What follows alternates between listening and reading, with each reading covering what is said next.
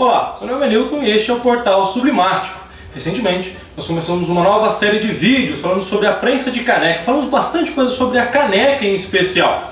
Obrigado pelo feedback, foi muito positivo. Pessoas entraram em contato, pessoas que não conheciam o processo de sublimação começaram a se interessar por esse incrível processo, pessoas que já trabalhavam com sublimação eram iniciantes e foi realmente esclarecedor, e mesmo para quem já trabalhava e nunca tinha tido acesso a essas informações extremamente importantes e tão básicas do dia a dia de trabalho. No vídeo de hoje eu vou chamar a atenção da resistência. Conversamos em outros vídeos um pouquinho sobre isso, vamos conversar um pouquinho mais nesse vídeo aqui. É importante lembrar que você tem diferentes resistências. Você tem uma resistência mais grossa para diâmetros menores e uma resistência mais fina para diâmetros maiores.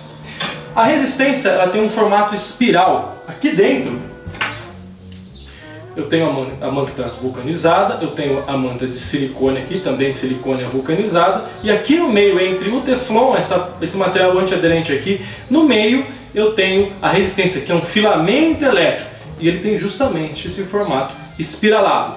Então, se na sua caneca está ficando algumas marcas espiraladas, é porque você tem uma resistência de baixa qualidade.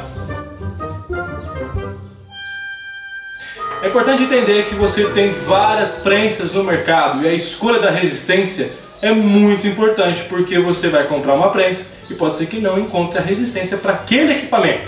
Existem vários plugs, vários fiações desse, várias fiações desse plug, contato macho, fêmea, 5 pinos, 4 pinos e por aí vai. Então o painel e a resistência são peças de reposição e você tem que ficar atento a isso. Então você já sabe que a resistência é igual dos dois lados, ela é espiralada, ela alcança toda a área da resistência. Então não adianta você virar a caneca, colocar a caneca de um lado, colocar a caneca do outro.